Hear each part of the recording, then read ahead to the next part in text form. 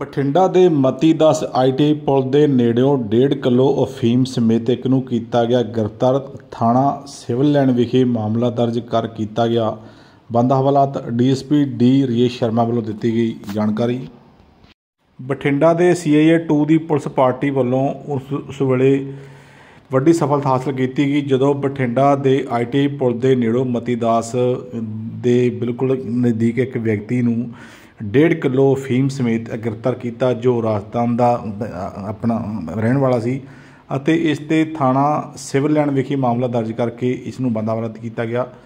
ਦੱਸ ਦਈਏ ਕਿ ਬਠਿੰਡਾ ਪੁਲਿਸ ਵੱਲੋਂ ਲਗਾਤਾਰ ਨਸ਼ੇ ਨੂੰ ਲੈ ਕੇ ਵੱਡੀਆਂ ਰਿਕਵਰੀਆਂ ਕੀਤੀਆਂ ਜਾ ਰਹੀਆਂ ਅਤੇ ਹੁਣ 1.5 ਕਿਲੋ ਫੀਮ ਸਮੇਤ ਇੱਕ ਵਿਅਕਤੀ ਨੂੰ ਗ੍ਰਿਫਤਾਰ ਕੀਤਾ ਹੈ, ਜਿਸ ਤੇ ਕਾਰਵਾਈ ਕਰਦੇ ਹੋਏ ਉਸ ਨੂੰ ਮਾਮਲਾ ਦਰਜ ਕਰਕੇ ਇਸ ਨੂੰ ਬੰਦਾ ਹਵਾਲਾ ਕੀਤਾ ਗਿਆ ਤੇ ਹੁਣ ਇਸ ਦਾ ਰਿਮਾਂਡ ਹਾਸਲ ਇਹਨਾਂ ਵੱਲੋਂ ਆਪਾਂ ਕੀਤਾ ਜਾਵੇਗਾ ਤੇ ਇਸ ਦੇ ਬੈਕਵਰਡ ਅਤੇ ਫਾਰਵਰਡ ਲਿੰਕ ਵੀ ਆਪਣਾ ਬਠਿੰਡਾ ਪੁਲਿਸ ਵੱਲੋਂ ਖੰਗਾਲੇ ਜਾਣਗੇ। ਅਸੀਂ ਤੁਹਾਨੂੰ ਦਿਖਾ ਰਹੇ ਹਾਂ ਬਠਿੰਡਾ ਦੇ ਸੀਆਈਏ 2 ਦੀਆਂ ਸਾਰੀਆਂ ਤਸਵੀਰਾਂ, ਜਿੱਥੇ 1.5 ਕਿਲੋ ਅਫੀਮ ਸਮੇਤ ਇੱਕ ਵਿਅਕਤੀ ਨੂੰ ਗ੍ਰਿਫਤਾਰ ਕਰਕੇ ਬੰਦਾ ਹਵਾਲਾ ਕੀਤਾ ਗਿਆ ਹੈ ਅਤੇ ਹੁਣ ਇਸ ਨੂੰ ਅਦਾਲਤ ਵਿੱਚ ਪੇਸ਼ ਕੀਤਾ ਜਾਵੇਗਾ ਤੇ ਇਹਦਾ ਰਿਮਾਂਡ ਹਾਸਲ ਕੀਤਾ ਜਾਵੇਗਾ।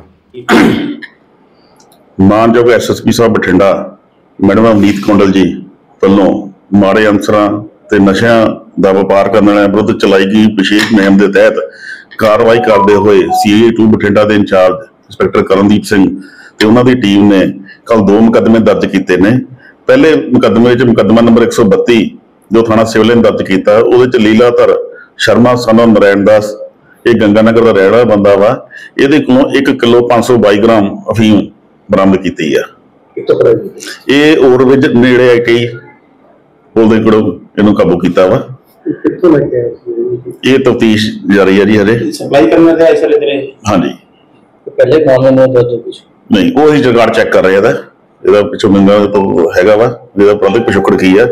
ਇਸੇ ਤਹਿਤ ਦੂਜੀ ਕਾਰਵਾਈ ਕਰਦੇ ਹੋਏ ਕਤਵਾਲੀ ਦੇ ਵਿੱਚ ਮੁਕੱਦਮਾ ਨੰਬਰ 108 ਦਰਜ ਕੀਤਾ ਗਿਆ ਜਿਹਦੇ ਵਿੱਚ ਦੋ ਦੋਸ਼ੀਆਂ ਨੂੰ ਕਾਬੂ ਕਰਕੇ ਉਹਨਾਂ ਕੋਲੋਂ 150 ਗ੍ਰਾਮ ਹੈਰੋਇਨ ਬਰਾਮਦ ਕੀਤੀ ਗਈ ਹੈ ਇਹ ਜਿਹੜੇ ਦੋਨੇ ਦੋਸ਼ੀ ਆ ਇਹ ਤਿੰਨ ਕੋਨੀ ਪਾਰਕ ਨੇੜੇ ਨਗਰ ਸੁਧਾਰ ਟਰਸਟ ਦਫ਼ਤਰ ਆ ਉੱਥੋਂ ਕਾਬੂ ਕੀਤੇ ਨੇ। ਇਹਨਾਂ ਨੂੰ ਵੀ ਕੋਰਟ 'ਚ ਪੇਸ਼ ਕਰਕੇ ਅਗਲੀ ਕਾਰਵਾਈ ਅਮਲ ਵਿੱਚ ਲਿਆਂਦੀ ਜਾਏਗੀ।